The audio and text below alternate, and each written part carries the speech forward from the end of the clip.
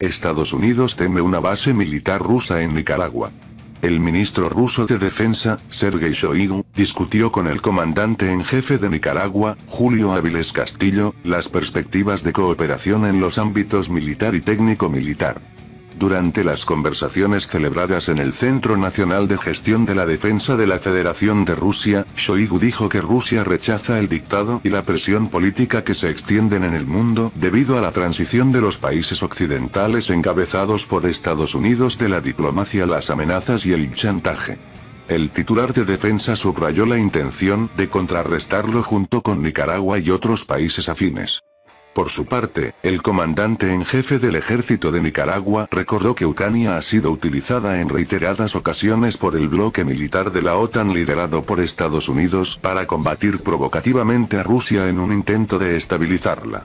Occidente también intenta desestabilizar a los países próximos a Rusia y China, sobre todo después de 2014, utilizando a Ucrania, que comparte una larga frontera común con Rusia, para crear amenazas. Las autoridades estadounidenses están preocupadas por el fortalecimiento de la cooperación militar entre Rusia y Nicaragua, a pesar de que los acuerdos actuales no implican el despliegue inmediato de tropas rusas ni la construcción de bases militares. Sin embargo, esto será posible si se dan determinadas circunstancias.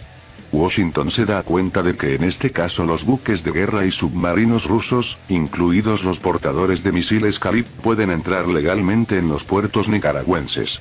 De este modo, Estados Unidos obtiene otro emplazamiento potencial para un ataque con misiles por parte de Rusia.